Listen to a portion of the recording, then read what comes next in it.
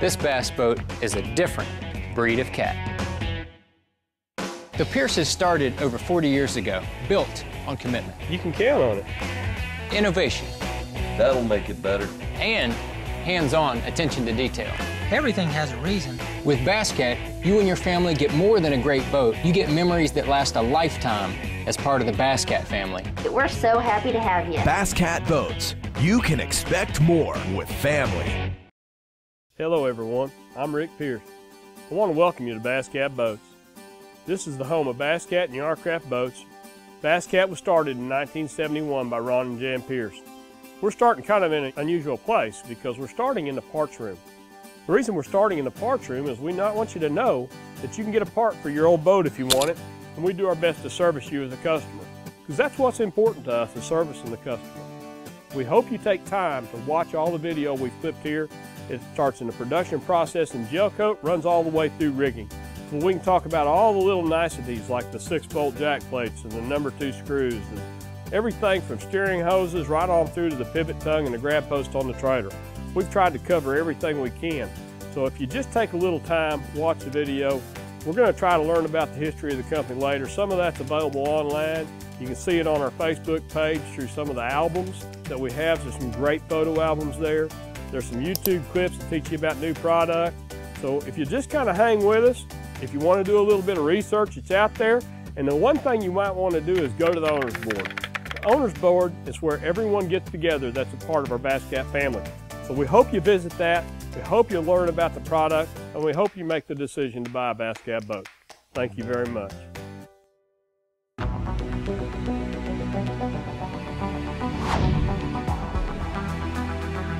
This is where it all happens. This is where we take it from buckets to boats. This is where the magic begins in the gel coat department. This is where we put the process down with a lot of intricate care. We do all the tape work, basically starting with just an outline of the mold, we hand wax every part. So these parts are actually taken care of with tender loving care, going back to the Karate Kid movie. Wax on, wax off. From there, we start in with a process, whether it's white, white goes on, right on the mold. If it's clear, then we shoot a nice 10 mil clear coat that goes down, and then we put a wet flake process application on top of that.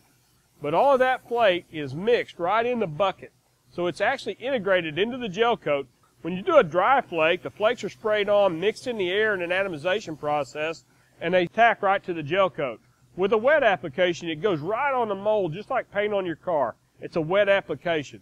And it's a real nice process with a thick coating. As you can tell, these gentlemen take their time. You'll notice a lot of difference in this process that what we do is done with time and intricate detail. They'll work through this process. You'll notice the spray application we use takes a lot of time. It's not done in a quick two-shot process. They go through steps and low pressures and try to get that applied just right so we don't have a problem with the application of the gel coat.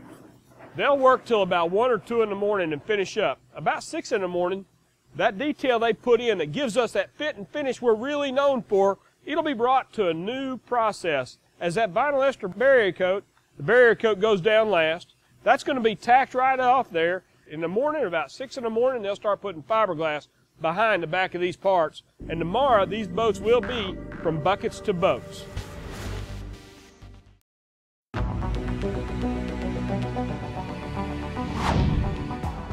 The last process we talked about, the vinyl ester barrier coat, which was the last process in gel coat.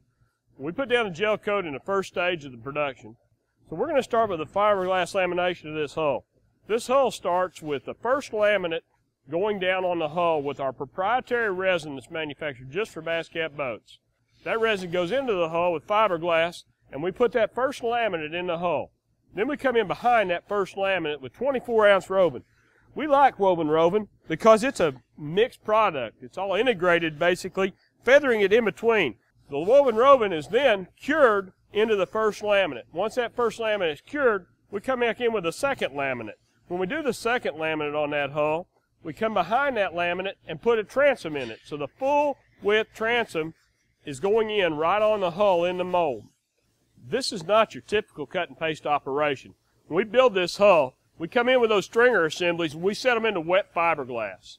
That fiberglass is put right in the hull and each stringer is made for that particular hull. It's not made and cut and fit to a different hull. It only goes in that one model. And then we come back and we put the floor on there. And that floor is the same thing. It's only made to fit that one model. So we've got a floor and a stringer that's all set in wet fiberglass. Once we have that wet fiberglass part, all of it's wet at this time, we come back and plastic that entire assembly. Once we seal that with plastic, everything that's open, it collapses it in, just like a block of cheese at the store. You go to the store and buy a block of cheese, there's nothing in the bag but the cheese. This floor is just like that. Anything that's not designed to be in there is sucked out.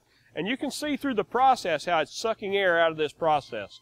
This is done by huge vacuum pumps we have that we unique to Bass Cat boats. No one else has this process.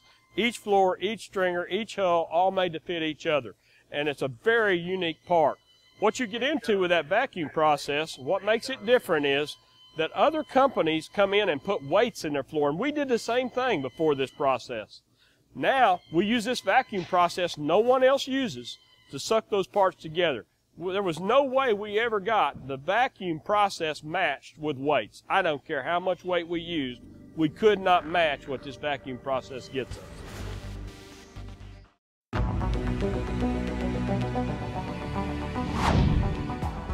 So let's spend a minute on transoms. As we look at the transom, this is a transom for a Cougar FTD, a Cougar, Jaguar, Puma FTD.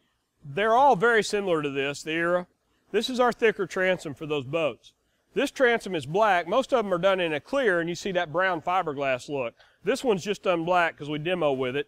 This particular product right here is what's in this transom. You can see the thickness here, but you can see the thickness here. This is all fiberglass. This is Core. It's a product that's made a little differently, and we'll get to that in a second.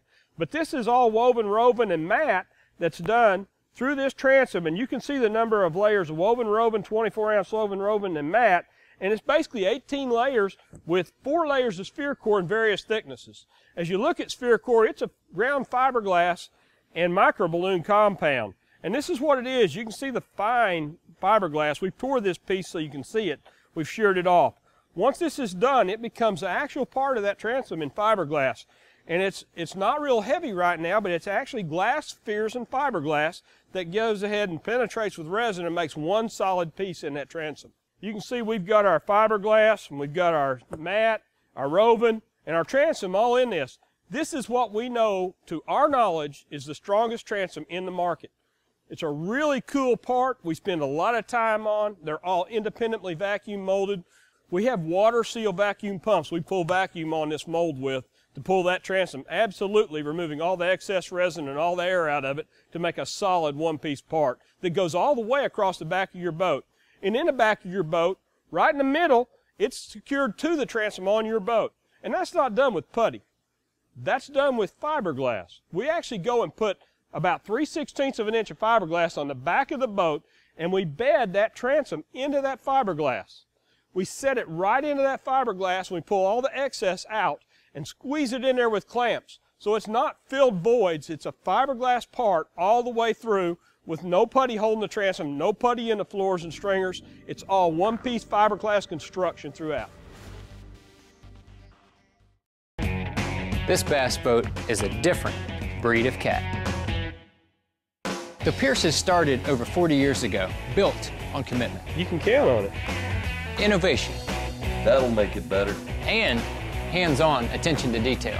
Everything has a reason. With Bass Cat, you and your family get more than a great boat. You get memories that last a lifetime as part of the Bass Cat family. We're so happy to have you. Bass Cat Boats. You can expect more with family.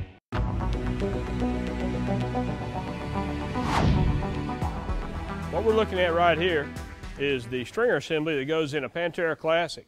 This is a 19 foot stringer assembly and you've got three tops and each of these chambers is different. It works like a reverse accordion, like a fan.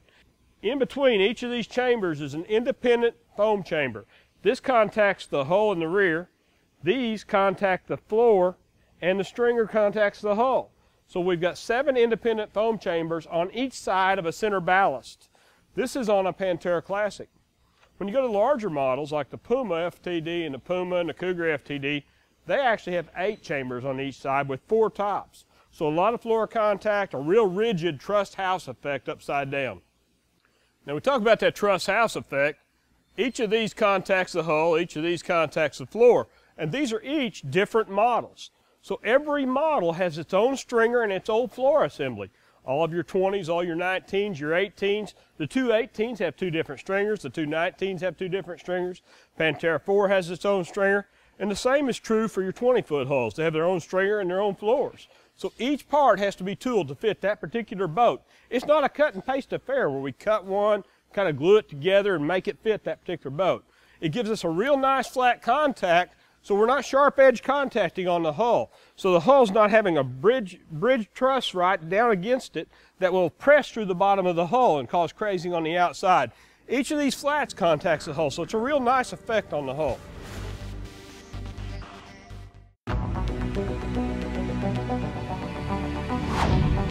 We moved over to the boxing department. As we moved to the boxing department, we call it boxing going back to the 1970s. And these boxes were actually put in like boxes we pulled separate and fiberglass into the hull of the boat. Right now, we glass these to the deck of the boat, and then we come back and fiberglass them to the subfloor assembly. So the actual floor assembly will be fiberglass to this part, reinforcing that hull. This is a step assembly, has a foam box under it. Then this goes directly to the floor. This is a Puma FTD. Um, the Puma FTD, Cougar FTD, and some of the other boats have full box assemblies and finished boxes. Some of the other ones, like the Pantera 2 and the Sabre, they don't. They actually are inside finished box but it's not gel coat slick. It's smooth and brushed. The uh, petitions on this are all done in fiberglass. This is a pretty slick part right here on the front. This pulls all the flex out of the front trolling motor area. It's a really neat thing because it takes that flex out of the deck where that trolling motor works. Then again, we come to the back side of that trolling motor and use those 3 8 plates under it to support the trolling motor bracket. But this is boxing. This is where the deck assembly on a Puma FTD is. We've got a hull assembly we're going to look at, and we'll move right on through it. Well, let's spend just a minute. This is a Cougar Advantage Elite hull. The Cougar Advantage Elite, basically all the 20-foot hulls are very similar. The striping's different, but the integrity of the hulls is the same. The stringers, the subfloor, they're the same on all the 20-foot models. There's different molds for them, but they're the same parts basically. This one's got the front foam chamber. All the rear foam chambers are in place, and then the floor is foamed. And you can see there's eight separate areas that we integrate foam into in these areas that encapsulate all the foam. So all the foam is contained inside of these foam chambers. Down the road 10 years from now, none of that's going to be in the gunnels of your hull absorbing water. It's all going to be contained. As long as you keep the integrity of these boxes in place, you don't drill them, you don't not seal something, they'll be dry, and that foam will maintain throughout the whole life of this boat. Another thing you can notice right here is the width of the transom. The transom's full width. It runs from this point to that point all the way across and depth-wise. So that full transom, that 65 pound transom that we looked at out there, it stretches through this whole bottom and all the way across in full depth. It's a nice setup. This is a one piece construction hull right here, all vacuumed together with our vacuum process. This boat, this Puma FTD, it just came out of boxing. We're standing in the finish department where the next step it moves into wiring, hanging all the parts and the pumps. The nice thing about that, as you out in your home if you want to work on a pump on the lake and it's a problem, you can get to it. You can access it. You can get to every part in this boat. No different than we're going to do at the next step of this when we install it. Everything is put in at this stage of the game. So when your boat's done at this stage, it's going to be finished with the parts that you can access in the field. It's going to cut your cost of rigging. So when you go in to have a pump installed later, your service in the field is going to be less because the dealer's not going to have to charge you to remove a gas tank. He's not going to have to charge you to remove a seat box to install a bilge pump. There's so many things that people don't think about in service. And service is a big factor when you come to building a boat.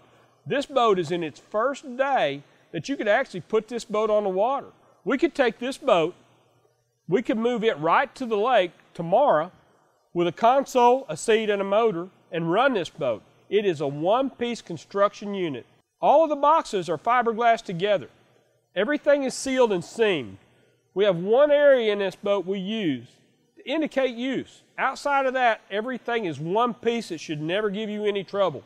It's all done with double laminate glass. All the component boxes are glass to the hull. The deck and hull assembly is not made to ever come apart.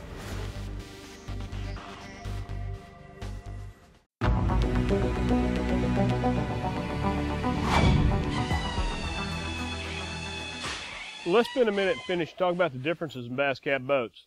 The differences in finish, they're easy to see for us. But for the average person, this isn't the enchanting part. This is the part where the work is. And there's a lot of things you don't realize. We spend a lot of time on countersunk holes, so every screw that goes into fiberglass is countersunk. And in that screw process, we use a square drive. So all of the Bass Cat screws are a custom ordered part. It allows you to use a number three Phillips with the same square drive bit, and one bit will do most everything on a Bass Cat boat. Pretty cool part. A lot of the things people don't realize when we mount the shock brackets and things like that, the hinges, the back of those has a special washer. It's a special neoprene bonded washer with a top stainless steel face head. And that little neoprene washer actually has to be made for us. So each one of them is individually stamped. We use the absolute heaviest marine grade carpet we can use. We use a 24 ounce carpet. It's really a 27, but it's rated at 24. This particular piece of carpet, these are identical size pieces. This is a competitor's 15 ounce carpet. This particular carpet in a 15 or an 18, this 15 ounce piece weighs 0.22 kilograms in the same size piece. This is our carpet. It weighs 0.36 kilograms. So their carpet weighs 60% the weight of a Bass Cat carpet. The actual denier, the strand weave, the needle stitching's crooked on theirs. Our needle stitching's nice and straight, good even stitching. Nice tight count on the weave. Nice tight count versus this. This is really not a very good carpet, not in our standards. Most all of our competitors use less carpet. We don't know of one that uses the same carpet we do. While we're talking about the differences in a Bass Cat boat, let's just spend another second here to talk about hoses. This is a steering hose. Every steering hose on these Bass Cat boats is sheathed from the helm all the way to the engine in a second sheath. This is a 1500 pound Kevlar hose, so it's going to protect it from chafing and abrasion and from actually having a hook that impacts this that puts a hole in your steering line, which would cause failure. So we're trying to reduce all the chances for failure we can. Jack plates on a Bass Cat boat are all six bolt plates. Most every other company, matter of fact every other company uses a four bolt plate. All of our plates are custom made for a Bass Cat boat. They're 8 inch offset, unless you get a Verado and it's a 3 inch offset or a 4 inch offset. But all the other plates are an 8 inch offset and they're a 6 bolt plate. That 6 bolt plate gives you two more bolts. But not only is it just two more bolts, what it does, it prevents the fulcruming that other plates have. Shorter plates and shorter rails fulcrum in the middle of the transom and they dig into the middle of the transom, eventually causing that transom to flex over the center. With a full length rail, you support the entire transom. So that transom support, not only do we have the strongest transom, we have the best plate and the strongest plate. And it's also enforced by the fact that we have an aluminum plate on the inside of the transom at all three locations of the bolts. So we've got a half inch tie bar on the bottom, a half inch aluminum tie bar second up, and then the top plate with the Bass Cat emblem right on the top of the splash well. All of those are six bolts, and another cool thing about that, we only use fine thread bolts on those. So there's no coarse bolts there. They're all fine thread half inch bolts. A lot of little differences don't mean a lot to a lot of people, Think about that next time you're on the rough water out there. Right, while we're in the finish shop, let's just spend a minute here to talk about gauges and dashes and the things that we do that are different than other people as a whole. Things we've done for years since we got away from all the plastic dashes of the 80s. The dashes are done with individual holes, so each gauge is individually drilled. Each panel is cut just to fit that, whether it's your LCR or your gauge. And the bezels, they're all aluminum custom made parts. So there's a series of parts that are all custom made, whether it's this aluminum piece for the A10 or whether it's this one for this little touchpad right here. All of those are custom made. They've got a little groove in them, a little inset. And what that does is it gives you a real solid, rigid dashboard rough water. It gets it in there where you can not have to worry about it down the road through your years of ownership. The average person's going to keep that boat 7 to 12 years. It's the little details like this, all the jack plate bolts, all the front panel, the wiring. There's so many things that make a difference in a Bass Cat boat that last you through your years of ownership, and that's what we're about. We're about giving you something that'll last as long as you want it to last. This bass boat is a different breed of cat. The Pierces started over 40 years ago, built on commitment. You can count on it. Innovation. That'll make it better. And hands-on attention to detail. Everything has a reason. With Bass Cat, you and your family get more than a great boat. You get memories that last a lifetime as part of the Bass Cat family. We're so happy to have you. Bass Cat Boats. You can expect more with family.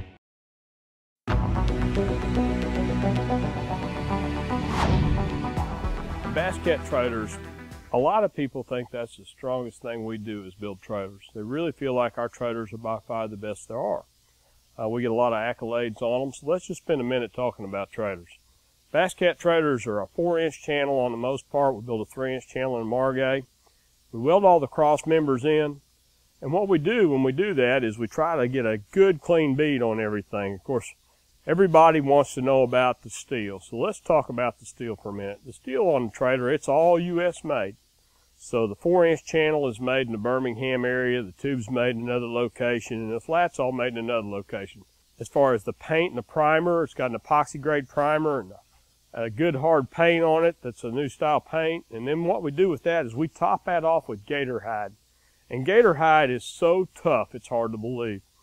Gator hide is a polyurea urethane top coat in clear. And uh, we waited till they could get it in the clear so we didn't have to do the rough finishes. You know, the rough finish texture stuff, we're just not real big fans of that. You're paying a lot of money for a boat, and it ought to look good.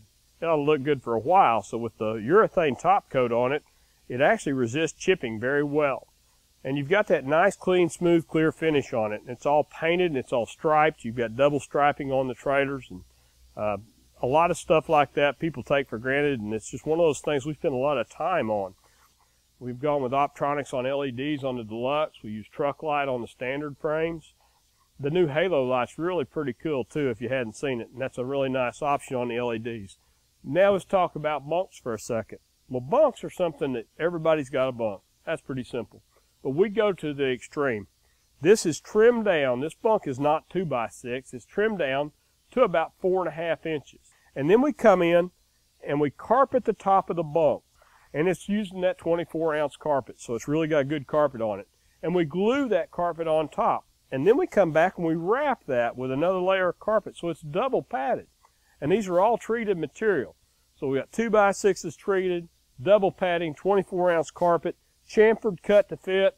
So it doesn't fit on a chine, it fits between the chines. And they're all special made every part on this trailer is welded to fit. And when you look at the front end, the bow's all nice and tightly dumped. And gosh, you know, you just really underestimate the quality of the of the trailer itself with the two inch bow tube and the 3 8 arms out of cold roll. You got two 3 8 arms where most people have a quarter inch arm coming up. Then you've got the front end of it with the pivot tongue as an option. And this pivot tongue, it's got a four inch tube with an interior tube. So it's a double wall tube. And the cams are laser cut cams. So when you look at the laser cut cams, that doesn't mean a lot to people with DOM tubing and a laser cut cam, but there's almost no flex in that trailer. When you pull the pins out of it, it doesn't rattle, vibrate, or move. So it's a really solid front end on a trailer. When you look at the disc brakes and the ball hubs, the ball hubs come with a five-year warranty. The trailer comes with a two-year warranty.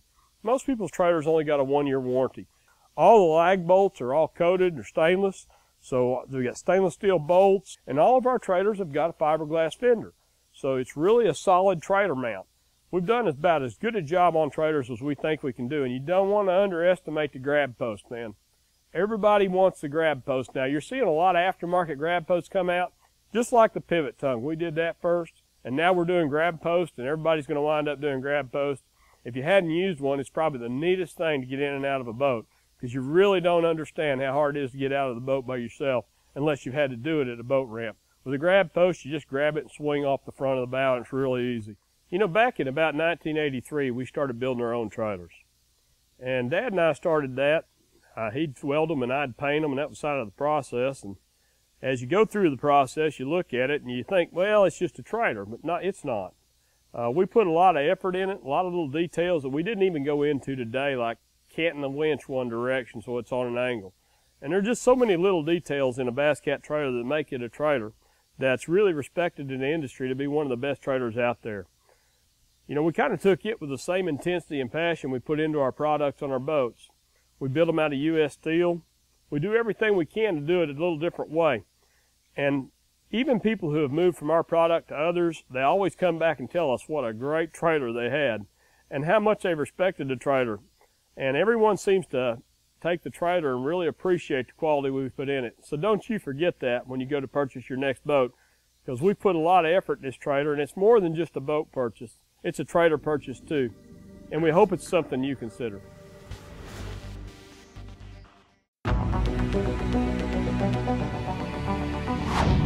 Here we are in our new building, and this is where we rig the boats. Behind me right there, that's Mike Iaconelli's boat, and he's getting ready to go on a 14 tour, and you'll see that in the Bassmasters Classic, of course. And then we've got a boat over here that's been through rigging, it's done, and this one's getting ready to have an engine put on it. We haven't mounted yet. So we just wanted to clean up and mention a few details about rigging. When you look at rigging, everybody rigs a boat, everybody puts a motor on. But let's talk about something else, and that's the components. We use all engine company components. So your cables came from your engine company, your ignition switch came from your engine company, your throttle assembly came from your engine company, your hoses came from your engine company on your outboard engine hoses. The throttle bulb, which is the bulb, the fuel control bulb that goes on the actual hose came from the engine company. That doesn't mean a lot, but we could save a lot of money using other components. We tend to try to use the best there are and those that are warranted by your engine company also. So those are little things you don't think about. And we just kind of wanted to throw that out there, plus the fact that we do do our own custom rigging in-house. And these guys have been doing it for a number of years. They're all certified on engine rigging, and they've got Verado certification on down. But we just want to say thanks a lot for looking at our video. We hope you've enjoyed the clips. We hope you learned something, and we hope to help you make a decision on your next bass boat. And we want to say how much we enjoy and the passion we have for building the product we've built for 43 years and the ability to continue to do that in the future. Hope you all have a nice season, have a good season out there fishing, and let's go catch one.